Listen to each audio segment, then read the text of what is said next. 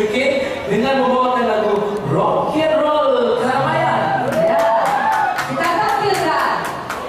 Ya.